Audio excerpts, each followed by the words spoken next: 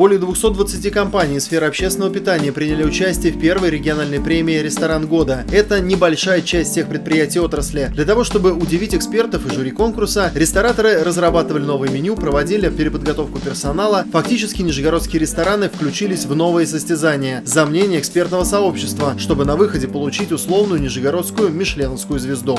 Премия, она всегда стимулирует участников стремлению к лучшему. И поэтому даже может быть и не важно, кто выиграет ее. Главное, чтобы участвовал в этой премии как можно больше а, ресторанов, кафешек. В финале среди крупных, уверенно стоящих на ногах сетевых заведений ресторанов оказались и совсем молодые предприниматели. Как говорят сами рестораторы, в Нижнем Новгороде огромная аудитория, и на рынке всем хватит места. У этих ребят уже появились свои секреты ведения ресторанного бизнеса. У нас full контакт бар, здесь очень сильно, у нас очень сильно идет акцент именно на контакт с человеком. Мы его хватаем еще, вот как только он открывает дверь, он уже наш гость, наш друг, мы уже рады его видеть и готовы помочь ему вообще всегда и везде и постоянно. Теперь немного цифр. За прошлый год оборот в сфере общественного питания на территории Нижегородской области составил около 22 миллиардов рублей.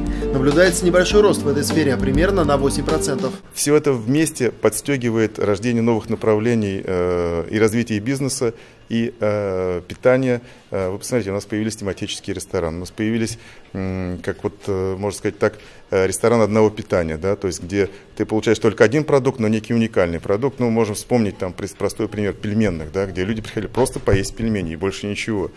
Хорошо это или плохо или нет, но неизвестно. Главное, чтобы люди получали удовлетворение того, что они хотят. И рынок, он расставит все на свои места.